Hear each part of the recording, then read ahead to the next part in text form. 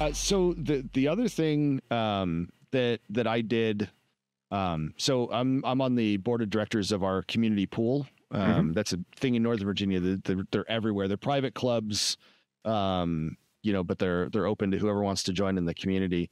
Um, Cool. And what we've caught is a lot of young lifeguards who have to make I'll say, you know, somewhat significant decisions on, you know, hey, was that thunder or lightning and should I close the pool or is Oh, the interesting.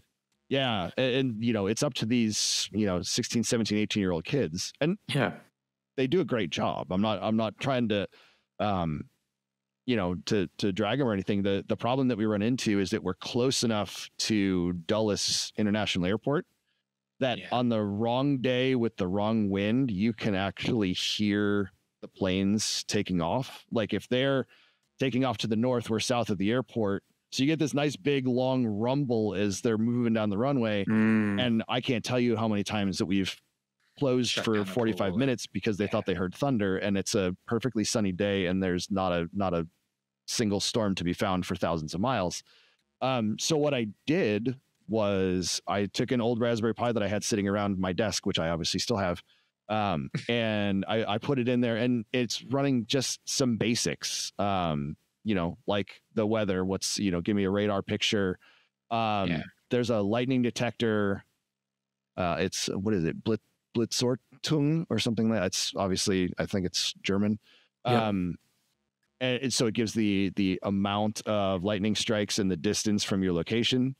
Um, so that one's great because you know we can say, hey, look, if there's been a lightning strike within 25 miles, shut down the pool, and they can just walk over to the thing, and it's right there. I put it on. A, we bought a, a pretty cheap um, Android tablet, and it's right there in the guard shack, right next to the lifeguards.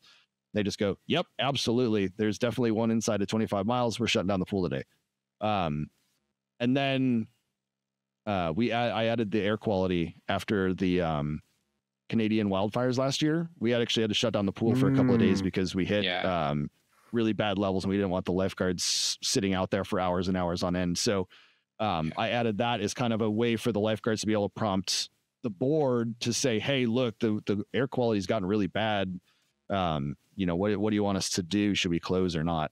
Um, and then the the the fun sort of fun side project of all of that is is working on music assistant to try and tie all of our sort of entertainment for the pool together and then provide just kind of one big single location where they can go and control all of that. So I was gonna say, can can you can you throw logic in there to say, hey, you know what? Like we've we've detected this, and just send out an alert to say, hey, lifeguards, pool's closed, rather than them having to watch, like go back to that screen and have a look, or or same thing, kind of with the wildfires. Hey, you know what? Air quality's been really poor for the last three hours, and we don't want you as an employee breathing this in anymore because it's obviously people come and go. They might be there for half an hour or something Right. like that, but the lifeguard's there for who I don't know what their shifts are like, but I assume like five hours, eight hours, whatever. yeah, it's like five six hours, I think.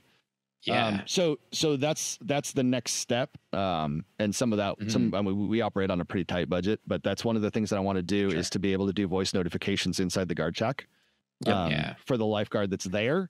And then uh, we bought some radios last year, and so that's that's a that's the stretch goal is to be able to not only give a singular voice notification inside the guard shack, but find some way to tie that in to be able to alert the lifeguards on the deck um, that that there's also a potential thing. Now, the lifeguard in the guard shack can easily reach them on the radio too, but um, you know, I have to take it to the next level when I get the opportunity. So But wouldn't it be cooler if Home Assistant got on the CB radio and Exactly.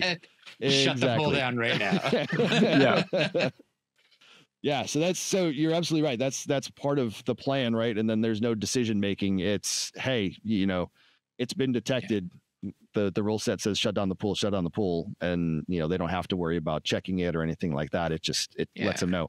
I'm sure the membership will hate me because you know we like to play the ignore the thunder for an extra five minutes so the kids will play um but Yeah. you know at the same time there's there's always an element of safety required in that environment so you know the I had no idea that care um, that you had to close down pools for lightning. Like, is that is that a big thing in?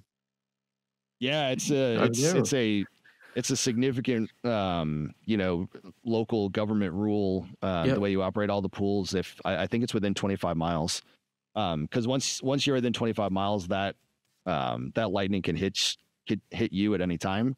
And since you've got all of that water there it's a they high pot- and you know you got lots of tall lights and all of that stuff so yeah you're you're kind of a, a large target at that point so Yeah. um, we want we want to make sure that we're taking care of everybody as as well as we can, as fast as we can, while at the same time, you know, backing up the lifeguards and and you know, Yeah. not not putting too much on a bunch of seventeen and eighteen year olds. Yeah. Absolutely. Yeah. Makes Which sense, right? risk. Large open area plus Yep. water. yeah, yeah.